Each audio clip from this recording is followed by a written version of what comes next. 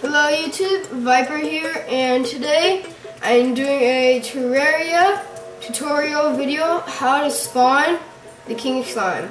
Okay, first all you need is one ruby and 30 gold bars, and then you need an anvil. So you need to make a crown, and then you need 99 gel, and you need to find a demon altar, and then you can just make him.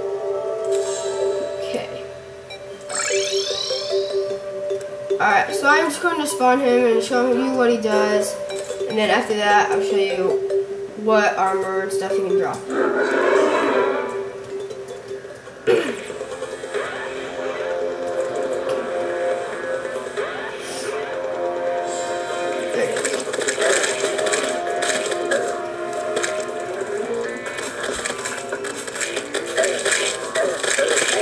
Okay, so I just defeated him really quick there.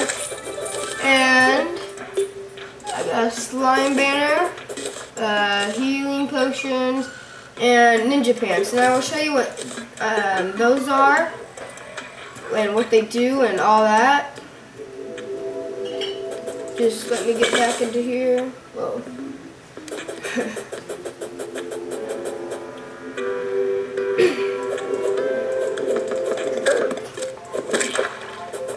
and then Okay, so here's the armor.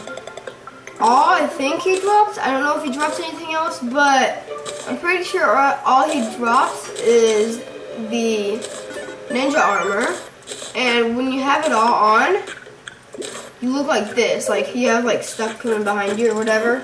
Makes you look like super fast or something. I, don't know. Alright, whatever. It looks cool though. And guys, I hope I helped you into finding how to spawn the king slime. And please like. And anyways, bye.